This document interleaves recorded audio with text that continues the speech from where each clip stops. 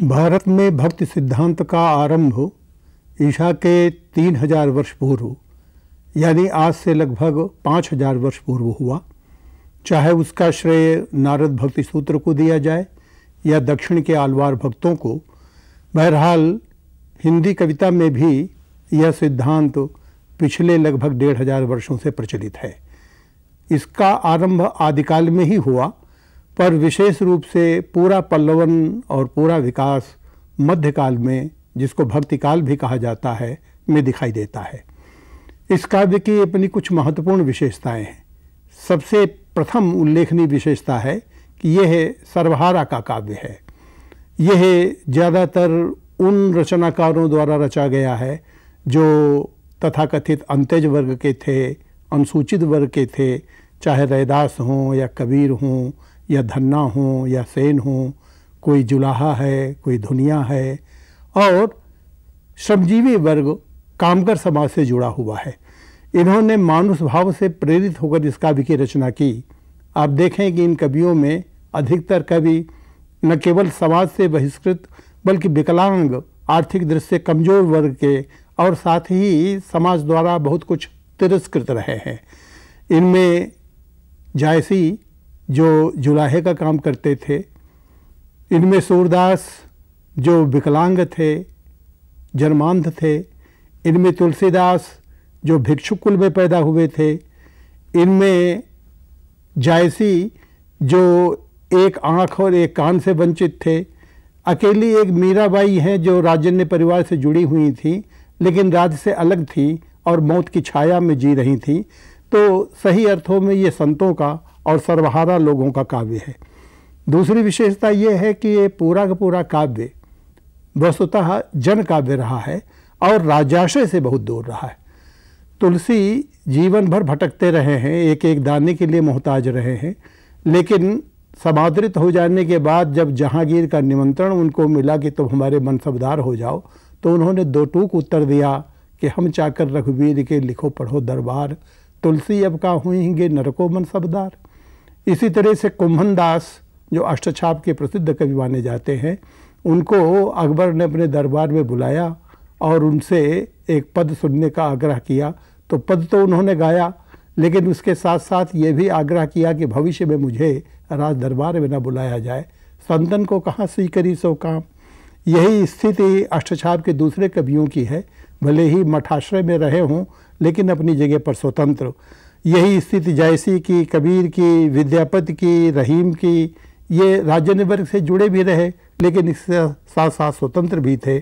तुलसीदास उस कवि को प्राकृत कवि कहा करते थे, जो कहीं प्राकृत जन या साधारण मनुष्य की प्रशस्त में काव्य रचना करता है। कुल मिलाकर एक बहुत गहरे, उदात्त मूल्य से जुड़े हुए। तीसरी विशेषता आप पाएँगे कि यह समन्वय का काव्य है।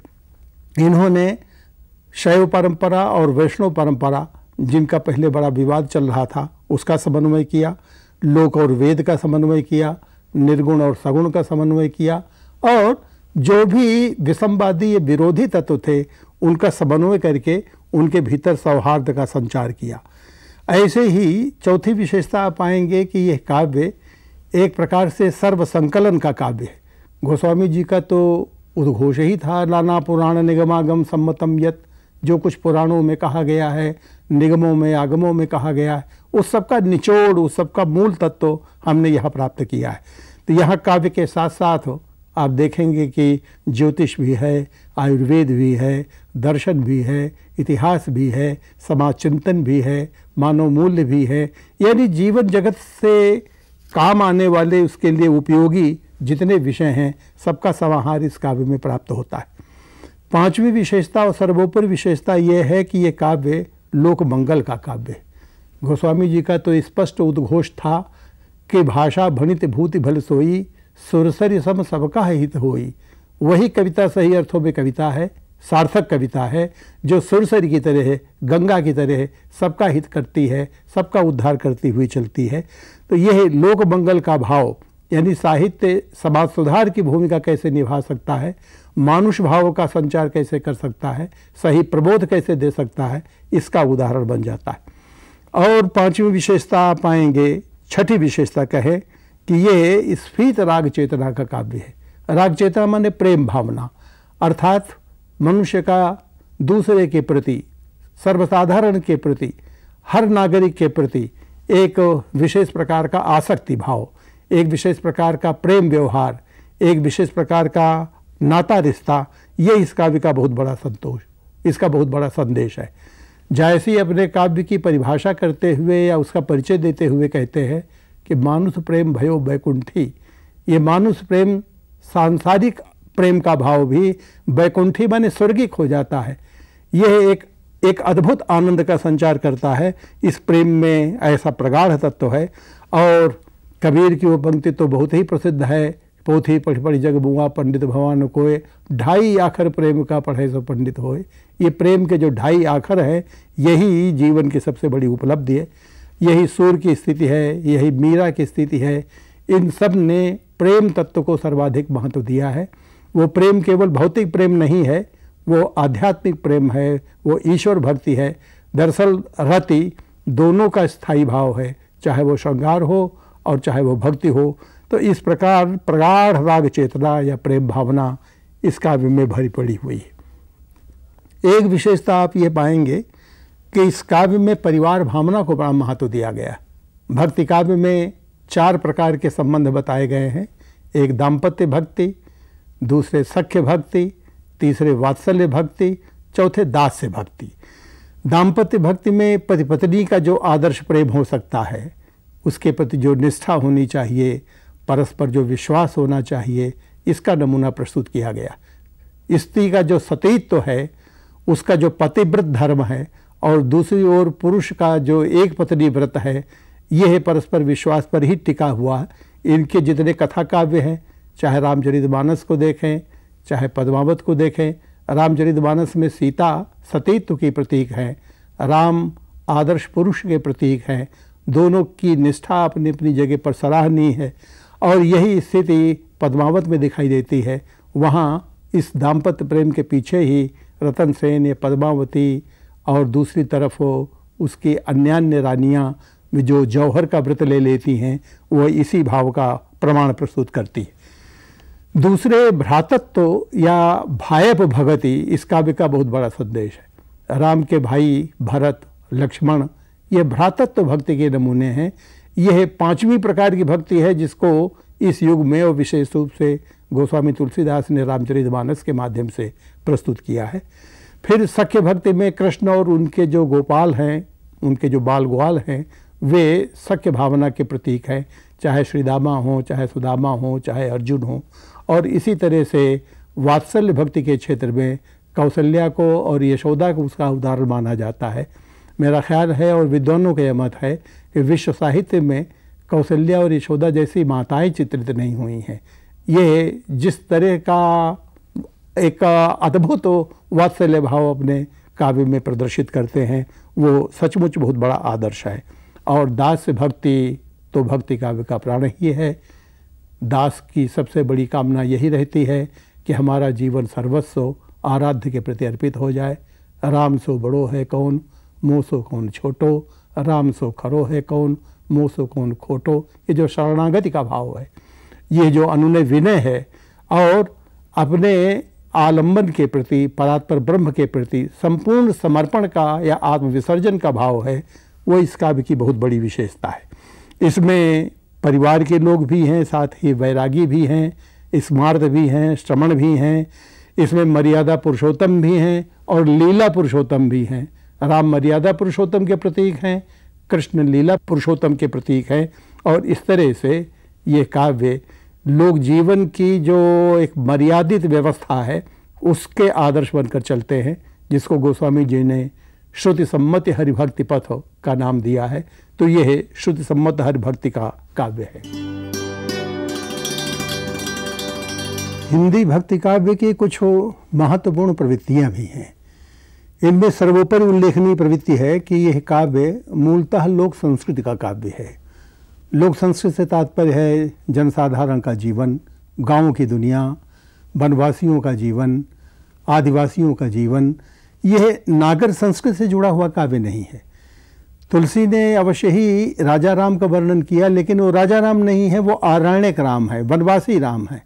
और सूरदास के कृष्ण तो गोपालाष्टक हैं। कुल मिलाकर गायें चराने वाले, गाँव में रहने वाले, गोचारण करने वाले, इसमें मूल रूप से दो तीन क्षेत्रों को विशेष रूप से उभारा गया है। एक अवध की लोक संस्कृति, दूसरे ब्रज की लोक संस्कृति, तीसरे बुंदेलखंड की लोक संस्कृति। राजस्थान का भी जनजीवन आया है, मीरा के काव्य में, और दूसरे भी बहुत सारे कवि हैं। मिथिला का भी लोक जीवन आया है, विद्यापति के माध्यम से। विद्यापति कहते हैं कि जो अपनी स्थानीय गाँव की बोली है, जिसको उन्होंने देसिल बैना कहा है। देसिल बैना सब जन मिठा और इसीलिए मैथिल कोकिल का विशेषण दिया गया है विद्यापति को। तो अवध और ब्रज और उसके साथ राजस्थान और मिथिला और बुंदेलखंड, यहाँ की जो आभीर लोक संस्कृति है, उनका जो खान पान है, उनका जो पहनावा है, उनके जो पर्वोत्सव हैं, उनके जो सामाजिक संस्कार हैं, मैंने समग्र सामाजिक जीवन, सांस्कृतिक जीवन, यह इस काव्य की एक बहुत बड़ी देन है। इसकी मूलभूत प्रवृत्तियों में उसकी गणना की जानी चाहिए। एक प्रवृत्ति और आप देखें, वो है कि यह काव्य मूल रूप से जाति धर्म निरपेक्षता का प्रतीक है। भक्ति में जो आंदोलन चला, रामानंद ने उनके पहले आचार्य रामानुज ने और साथ ही साथ राघव दास ने एक आंदोलन ये चलाया कि किसी तरह की छुआछूत की भावना नहीं होनी चाहिए। रामानंद का ही नारा था, हरिका भजे सो हरिका होए, जाति पाति पूछे ना कोई। यह एक प्रकार का जगन्नाथ कल्ट था। जैसे जगन्नाथ जी के मंदिर में ये व्यवस्था है कि वहाँ परोसा जाने वाला भात अगर कोई उसे खाने पीने में परहेज करता है तो वो कुष्ठ रोग हो जाता। इस प्रकार की एक भावना विकसित की गई कि किसी प्रकार का कोई ऊंच नीच का भेदभाव जाति पाति का कोई भेदभाव जनसाधारण में भक्तों के बीच नहीं होना चाहिए। न क्षेत्र का भेदभाव, न लिंग का भेदभाव, न भाषा का भेदभाव। आज हम जिस विघटन की प्रक्रिया से गुजर रहे हैं, जिस भेदभाव से पीड़ित हैं, उसके लिए काव्य बहुत बड़ा आदर्श है। यहाँ पर कुछ ऐसे महत्वपूर्ण कवियों के संदेश प्राप्त हुए। जैसे सूरदास एक पद में कहते हैं कि, भगत में कहाँ जनेऊ जाति? जनेऊ का यज्ञोपवीत माने द्विजत्व का जो दर्प है, वो भक्ति में नहीं चल सकता। वहाँ जाति नहीं होती, वहाँ पाति नहीं होती। और सब आराधक, आराध्य दोनों समान भूमिका में रहते। सूरदास का ही एक पद है कि खेलन में को का को गुसैया। खेलते समय कोई किसी का मालिक नहीं होता। वैसे कृष्ण मालिक हैं, उनके ग्वाल बाल, उनकी प्रजा हैं, लेकिन हरिहारे जीते श्रीदामा। कृष्ण हार जाते हैं खेलते खेलते श्रीदामा जीत जाते हैं और उसका कहीं कोई अन्यथा भाव मन पर नहीं आता। इस प्रकार का संदेश इस काव्य के माध्यम से दिया गया। उसका परिणाम ये है कि बहुत सारे कवि जो अंत्यज वर्ग के थे, वे प्रकाश में आए, उनको महत्व मिला। उदाहरण के लिए अष्टछाप के कवियों में कृष्णदास अधिकारी जो तथाकथित हरिजन वर्ग के थे, वे मंदिर के अधिकारी बनाए गए थे। नाभादास ने भक्तमाल लिखा, जिसमें उस समय के भक्तों का सारा परिचय दिया गया है। वे सबसे प्रधान व्यक्ति माने गए। ऐसे ही मुस्लिम कवियों का ज़्यादा से ज़्यादा समावेश इस काम में दिखाई देता है। चाहे रहीम हो, चाहे खुसरो हो, चाहे जायसी हो, या रसखान, या मुल्ला दाऊद, जितने सूफ़ी कवि हैं, ये सब उस अल्पसंख्यक वर्ग से आए हुए हैं। अधिकाधिक इन कवियों का समावेश राम काव्य परंपरा में, कृष्ण काव्य परंपरा में नीति कवि के रूप में, ने विभिन्न विधाओं में, विभिन्न शैलियों में इन सबने रचना की और कुल मिलाकर भक्ति का संदेश दिया। ऐसे ही यह आप अनुभव करेंगे, एक महत्वपूर्ण उल्लेखनीय प्रवृत्ति है कि यह वस्तुतः जनजन का काव्य है। यूँ कविवर्ग अपने को बुद्धिजीवी मानता है, कलाकार मानता है, विशिष्ट मानता है, रचनाकार वर्ग का अपना अलग दर्जा होता है। लेकिन इस युग में जो किसान है, जो मजदूर है, जो कामगर है जो शिल्पी है, वो काव्य रचना कर रहा है और दिनचर्या में भक्ति काव्य से जुड़ा हुआ है। इन्होंने वेद के समक्ष उसी के समकक्ष एक दूसरा शास्त्र बनाया जिसको लबेद कहा। कबीर कहते हैं कि वेद का जितना महत्व है, उतना ही महत्व लबेद का है। और बड़े दावे के साथ कहते हैं कि तुम कहते कागज़ की लेखी, मैं कहता आँखिन की देखी। जो आँखिन देखी सत्य है, वो कब महत्वपूर्ण नहीं है। यह जनकाव्य का सबसे बड़ा लक्षण है। इसी तरह से तुलसीदास ने जहाँ शास्त्रबद्ध रचना की रामचरितमानस में बहुत उच्च कोटि का दर्शन है, बहुत उच्च कोटि का चिंतन है, पर उसी के साथ साथ लोक काव्य भी है। रामलला नहछू उनका एक ऐसा काव्य है। नहछू महावर लगाने की एक विशेष रस्म होती है, मांगलिक आयोजनों पर लगाया जाता है, और उस समय लोकगीत गाया जाता है। तो उन्होंने स्त्रियों के उपयोग के लिए कि वे राम कथा कहें तो उसमें राम को याद करें और उनके प्रति भक्तिभाव प्रकट करें। रामलला नहछू की रचना की। इसी तरह से जानकी मंगल, पार्वती मंगल, ये मंगल का भी विवाह के अवसर पर गाया जाता है। रुक्मिणी मंगल, इन तरह के तमाम ऐसे मंगल काव्यों की रचना भी इस युग में भक्ति काव्य धारा के अंतर्गत दिखाई देती है। इसी तरह जनजीवन का चित्रण इन कवियों ने किया। जायसी ने बारह मासा लिखा, ऐसे ही बारह मासा का वर्णन स्फुट रूप से सूरदास में भी मिलता है, तुलसीदास में भी प्रकृति चित्रण भरा पड़ा है, जिसमें बारहों महीने की गतिविधि दी गई है। उससे प्रकृति और पर्यावरण का परिचय मिलता है और साथ ही लोक जीवन की विभिन्न झांकियाँ प्राप्त होती है। अब जैसे ये भूल जाते हैं कि वे राजा की कथा कह रहे हैं, रतन सेन तो चित्तौड़ का राजा है, वो प्रवास पे है और उसकी रानी नागमती अकेली रह रही है। वर्षा ऋतु आई हुई है तो नागमती कहती है कि मेरा प्रिय तो प्रदेश में है, अब उसके अभाव में पिए बिन छाजन दे ही, घर में छप्पर कौन लगाएगा? ये भूल जाते हैं कि राजा के यहाँ छप्पर नहीं होता है, राजप्रासाद होता है, लेकिन चूँकि लोक जीवन का बड़ा गहरा प्रभाव उनके ऊपर है, इसलिए गाँव की जो दशा है, वहाँ के जो घर हैं, वहाँ के जो रहन सहन है, वो अनायास ही चित्रित हो जाता है। तो ऐसी विभिन्न प्रकार की लोक कलाएँ, रामलीला का जो अधिकाधिक प्रचलन उस युग में हुआ, ब्रज में रासलीला का जो अधिकाधिक प्रचलन हुआ, जो रसिया गाए गए, जो भगत के गीत गाए गए, और विभिन्न प्रकार की लोक गाथाएँ, लोक कथाएँ जो चली, वो सचमुच जन जन के काव्य होने का प्रमाण प्रस्तुत करती है। इसी तरह से आप ये अनुभव करेंगे, एक विशेष महत्वपूर्ण प्रवृत्ति है कि यह काव्य प्रबोधन का काव्य है।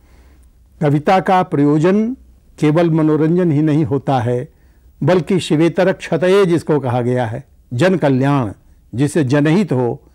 सही अर्थों में साहित्य की परिभाषा ही वो है, हितेन सहितम तस्य भाव साहित्यम, जो सबका हित करे। गोस्वामी जी के शब्दों में सुरसरी के समान जो सबका हित करता हुआ चले। इस युग में प्रबोध पर काव्य बहुत लिखे गए। संस्कृत का एक ग्रंथ रहा है प्रबोध चंद्रोदय। प्रायः हर कवि ने उसका अनुवाद किया है। और एक तरह का अनुसृजन किया है, उसी से प्रेरित होकर तरह तरह के प्रबोध, जिसको सभा विलास कहा गया है। यानी सभा में रहते हुए हमें किस प्रकार के व्यवहार करना चाहिए? गृहस्थ जीवन में किस प्रकार का? और विभिन्न प्रकार के जो ज्ञान हो सकते हैं, व्यवहारिक ज्ञान, जैसे वीर पूजा की भावना, वीर पुरुष का तात्पर्य है, जिसको अंग्रेज़ी में हीरो वर्शिप कहते हैं, जो पूज्य पुरुष हैं, उनका प्रशस्ति भाव कैसे मन में रखा जाए, तमाम ऋतुओं का ज्ञान, खासतौर से शठ ऋतु का जो वर्णन किया है, उसमें ऋतुओं का ज्ञान दिया है और दैनिक कामकाज की चीज़ें। इस युग में कृषि से संबंधित बहुत सारे काव्य लिखे गए। कब कौन सी फ़सल बोनी चाहिए, किस प्रकार का बीज होना चाहिए, कितनी बार सिंचाई होनी चाहिए, इस प्रकार के भी लोकोपयोगी काव्य बहुत रचे गए। ऐसे ही दर्शन या चिंतन इस युग में अपनी पराकाष्ठा पर दिखाई देता है। गोस्वामी तुलसीदास ने जो तत्व चिंतन किया है, सूरदास ने भी विशिष्टाद्वैतवाद दर्शन का जो प्रतिपादन किया है, केशवदास ने विशेष प्रकार का जो षड दर्शन मीमांसा का अध्याय प्रस्तुत किया है और इसी तरह है द्वैताद्वैत, शुद्धाद्वैत, विशिष्टाद्वैत जो वेदांत के सिद्धांत हैं, इसके साथ जो वैष्णव मत के सिद्धांत हैं जो शैव उपासना के सिद्धांत हैं, विभिन्न प्रकार के संप्रदाय और संप्रदायों से जुड़े हुए जो सिद्धांत हैं, वे काव्यात्मक रूप धारण करके इस युग में, इस भक्ति काव्य में प्रकट हुए हैं। और सबसे बड़ी विशेषता यह है कि उस दर्शन को जन दर्शन बनाया गया। इसमें तर्क का सहारा उतना नहीं लिया गया जितना आस्था का सहारा लिया गया, ताकि आम आदमी उसको समझ सके और उस सैद्धांतिक दर्शन को अपना जीवन दर्शन बना सके। यह काव्य एक महत्वपूर्ण प्रवृत्ति है, इसकी नीति परक काव्य है। नीति का तात्पर्य है किस प्रकार किस दिशा में चलें, जो नयन करे, जो मार्ग निर्देश करे। ऐसी खास प्रकार की नीति रचना, इस प्रकार की सूक्तियाँ, इस प्रकार के उद्धरण इस काव्य में प्राप्त होते हैं। हर कवि कहीं न कहीं सिद्धांत कथन करता है। चाहे आप कबीर के दोहों में, उनकी साखियों में देखें जगह जगह पंक्ति पंक्ति में नीति है, उपदेश है, प्रबोध है। चाहे तुलसी के रामचरित मानस को देखें एक एक पंक्ति सूक्ति बन गई है। जीवन में, खासतौर से जब कोई विषम समस्या आती है, लोग उसी के स्मरण करते हैं। हुई है वह जो राम रचे राखा को कर तर्क बढ़ावे का अब ये मन में जब भाव रख लेते हैं तो किसी प्रकार की कुंठा नहीं होती। हर अवसाद से बच जाते हैं कि कुछ चीज़ें ऐसी है जो मनुष्य के अधिकार में नहीं। इस प्रकार की नीतियाँ या नीति कथन पूरे काव्य में भरे हुए हैं। और आप ये पाएँगे कि लोक जीवन की जो उक्तियाँ हैं, जिनको लोकोक्ति कहते हैं, उसी का दूसरा रूप जिसको मुहावरे कहते हैं, इसको अवधि में मसला कहा जाता है। जायसी ने एक पूरा पूरा काव्य ही लिखा है मसला नामा उस मसला नामा में उन्होंने लोक जीवन की ऐसी उक्तियों को कविता में इस प्रकार गूंथा है कि वो उनका अपना स्वतंत्र छंद भी हो गया है और उसी के साथ साथ नीति कथन भी हो गया तो ये मसला नामा और उसके साथ साथ नीति परक वाक्य जो तुलसी की तुलसी सतसई में प्राप्त होते हैं और सर्वाधिक तो रहीम में प्राप्त होते हैं। रहीम ने जीवन के अपने सुदीर्घ अनुभव के आधार पर जीवन के सत्य को पकड़ने की जो कोशिश की। एक एक कथन में वे ऐसा कुछ प्रबोध देते हैं जो सरल से सरल शब्दों में मन में रच बस जाता है और उनका अनुसरण करके कोई भी विषम से विषम समस्या का समाधान कर सकता है। एक प्रवृत्ति आप यह पाएँगे कि इस काव्य ने जनपदीय भाषाओं को बहुत महत्व दिया जो हिंदी की बोलियाँ हैं, तब खड़ी बोली का तो पूरा विकास हो नहीं पाया था। अमीर खुसरो ने स्फुट रूप से खड़ी बोली कुछ रचनाएँ की थी, लेकिन कविता के क्षेत्र में ज़्यादा प्रचलन था ब्रज का, अवधि का कुछ कुछ बुंदेलखंडी का, मैथिली का राजस्थानी का और अवहट्ट भाषा जो मिथिला की ही एक बोली रही है, इन जनपदीय भाषाओं को सबसे अधिक प्रोत्साहन इस काव्य ने प्रदान किया। इसमें ब्रज की अधिकाधिक रचनाएँ हैं, अवधि की अधिकाधिक रचनाएँ हैं, और उसी तरह से भोजपुरी या डिंगल भाषा, राजस्थान में जो स्थानीय बोली में जो रचनाएँ की गई, उसमें डिंगल की शब्दावली ज़्यादा है। तो जनपदीय भाषाओं को जिसको विद्यापति ने देसिल बैना कहा था, उन देशी भाषाओं को इस काव्य ने बहुत महत्व दिया। एक महत्वपूर्ण प्रवृत्ति जिसकी ओर मैं संकेत करना चाहूँगा और पूरी प्राथमिकता के साथ उसको रखना चाहूँगा, वो है इस काव्य ने एक समेकित भारतीय साहित्य की प्राण प्रतिष्ठा की है। समेकित जिसको अंग्रेज़ी में इंटीग्रेटेड नेशनल कल्चर कहते कुल मिलाकर एक भारतीय अवधारणा प्रस्तुत की। पहली पहली बार ये काव्य राष्ट्रीय स्तर पर रचा गया है। भक्ति का सिद्धांत अकेले हिंदी में ही नहीं रहा। मराठी में ज्ञानेश्वर, एकनाथ, तुकाराम, रामदेव, नामदेव, रामदास, सब भक्ति के काव्य रहे। चाहे एकनाथ के अभंग देखें और चाहे ज्ञानेश्वर के पद देखें, इन्होंने हिंदी रचनाएँ भी की हैं। ये सब के सब मूल रूप से मराठी कवि रहे, लेकिन हिंदी की रचनाएँ समानांतर रूप से करते रहे। ऐसे ही गुजरात में आखा की रचनाएँ देखिए नरसिंह मेहता की रचनाएँ देखिए। वैष्णव जन तो तैरने कहिए, जे पीर पराई जाने रे, बापू के जो प्रिय भजन रहा है। अब ये गुजराती में भी है, ये हिंदी में भी है। दरअसल पुरानी हिंदी और गुजराती में कोई मूलभूत अंतर नहीं है। इसी तरह से आप पंजाब में गुरु नानक देव की वाणी देखिए। गुरुवाणी में ब्रजभाषा के छंद हैं। विद्यापति, अब वो मैथिली के कवि कहे जा रहे हैं, जब से मैथिली भाषा का स्वतंत्र अस्तित्व हो गया है। अन्यथा वे मूल रूप से हिंदी के कवि रहे। बंगाल में चंडीदास, चैतन्य महाप्रभु और गुरु गोविंद दास ये सब मूल रूप से ब्रजभाषा जुड़े रहे हैं। असम में इसी तरह शंकरदेव अवतरे, जिन्होंने अंकिया नाट लिखा है, और वहाँ बाउल गीतों की बहुत सारी रचनाएँ हुई हैं। ये बाउल गीत भी मूल रूप से ब्रजभाषा में है। तो कहने का तात्पर्य है कि असमिया में, बंगला में, मराठी में, पंजाबी में, गुजराती में ये काव्य समानांतर रूप से लिखा गया है और सबने वही भक्ति का सिद्धांत प्रतिपादित किया है। जो सूर में है, जो तुलसी में है, जो जयसी में है, जो कबीर में है तो इसलिए मैं इसको भारतीय काव्य कहता हूँ। ये किसी एक भाषा तक सीमित नहीं है, बल्कि इसमें समेकित भारतीय संस्कृत का स्वर है। एक विशेषता ये पाएँगे कि यह काव्य संगीत के सहारे चला है। आज कविता से संगीत गायब हो गया है। छंद लुप्त हो गया है। कविता गद्यात्मक हो गई है। परिणाम स्वरूप उसकी पठनीयता, श्रवणीयता, उसकी रसात्मकता, बहुत कुछ बाधित हो गई है। और इसीलिए वो उतना लोकप्रिय नहीं रहा। आप पाएँगे कि कबीर के पद घर घर में गूंज रहे हैं। तुलसीदास के छंद चाहे वो गीतावली के पद हों और चाहे वो कवितावली के कवित्व हों, सवैयाँ हों, या रामचरित मानस की चौपाइयाँ, उसके दोहे, उसके सोरटे न जाने कितनी राग रागनियों में इनको लोगों ने ढाल लिया है। और ढालने के पीछे लोगों का ही श्रेय नहीं है, स्वयं इन्होंने ही उसे संगीतबद्ध किया है। इनकी रचनाओं में आप पाएँगे सूरदास के सूरसागर में सबसे पहले ऊपर राग रागनी का नाम लिखा हुआ है, उसके बाद वो पद दिया गया है।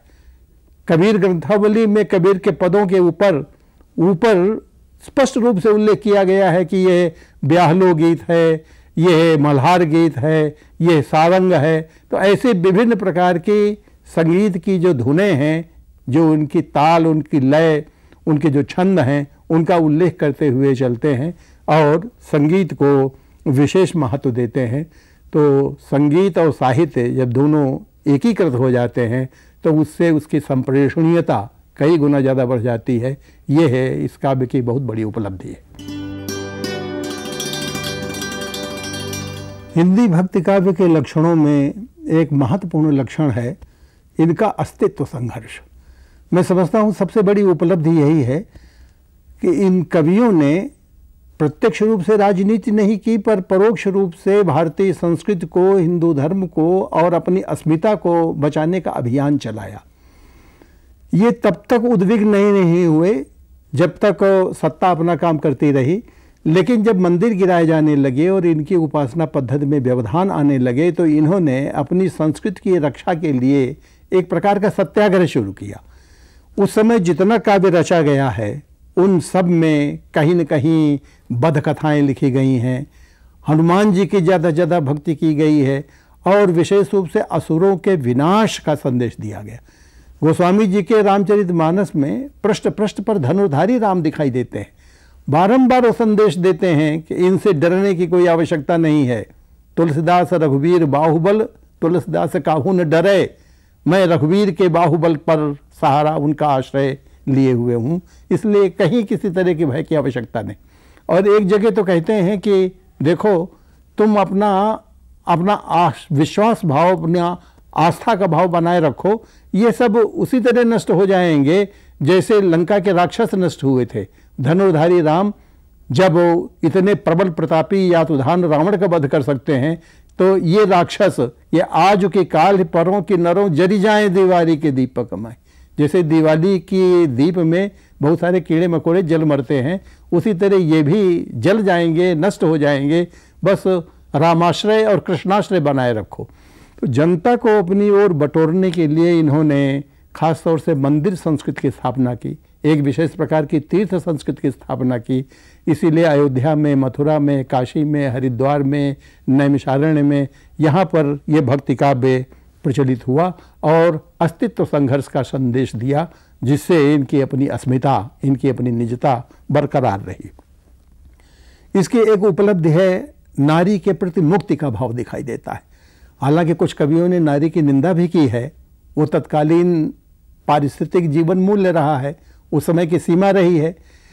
लेकिन उसके साथ साथ आप कुछ कवियों में पाएँगे, जैसे सूर की गोपियों में आप देखें वे जितनी स्वतंत्र हैं, कृष्ण के प्रेम में जिस तरह पगी हुई हैं, आधी रात में कृष्ण की मुरली बजती है तो वे अपने पुत्र को, पति को छोड़कर लोग लाज त्याग करके भी वे जिस तरह रासलीला में सम्मिलित होती हैं, या मीरा अपनी जिस दृढ़ता का परिचय देती हैं, जिस साहस का परिचय देती हैं, पूरे राज, राजन्य वर्ग और उसके प्रतिबंध को तोड़ करके जिस नारी स्वातंत्र का आदर्श प्रस्तुत करती हैं, मेरा ख्याल है कि आधुनिक युग में भी उतनी स्त्री स्वतंत्रता प्राप्त नहीं है। एक उपलब्धि, महत्वपूर्ण उपलब्धि है कि यह काव्य कृषक संस्कृति का काव्य है। इसमें किसानों को विशेष रूप से महत्व दिया गया है। जो रूपक बनाए गए हैं, वो प्रायः खेती के रूपक हैं।